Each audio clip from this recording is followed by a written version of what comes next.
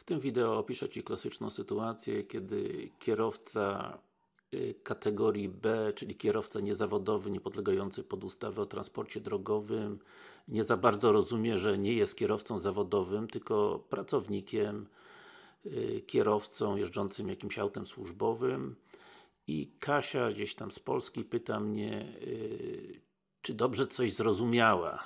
Już z góry mówię, że źle zrozumiała.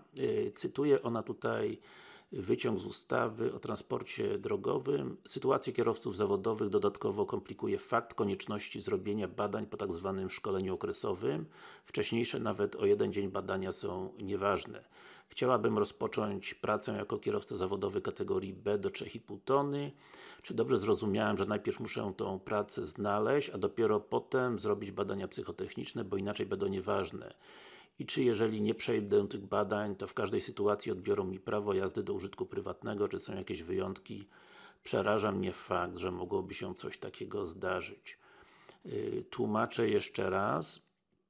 Yy, kierowca, pracownik do 3,5 tony nie jest żadnym kierowcą zawodowym. Przynajmniej w rozumieniu ustawy o yy, transporcie drogowym. Natomiast tutaj opisuje sytuację, kiedy po prostu kierowca jeżdżący tirem, kierowca auta powyżej 3,5 tony, czy kierowca y, autobusu odbywa co parę lat tak zwane szkolenia okresowe, co 5 lat do 60, powyżej 60 co 2,5 i zasada jest taka, najpierw odbywa to szkolenie w ośrodku szkolącym kierowców, następnie dzień po szkoleniu lub w dniu, w którym, skończył szkolenie idzie na badania lekarskie i na badania psychotechniczne. Natomiast sytuacja kierowcy yy, pracownika do 3,5 tony jest taka, że dany pracodawca wysyła go do lekarza medycyny pracy i tenże lekarz medycyny pracy wysyła go na badania profilaktyczne, a w skład tych badań profilaktycznych wchodzą badania psychotechniczne, no y, i teraz, y, czy jeżeli nie przejdę tych badań, to w każdej sytuacji odbiorą mi prawo jazdy do użytku prywatnego, czy są jakieś wyjątki? Oczywiście y, są wyjątki, bo prawo jazdy kategorii B naprawdę kieruje się innymi zasadami, normy są tutaj no, niezbyt wygórowane, można być osobą jednooczną, prawda?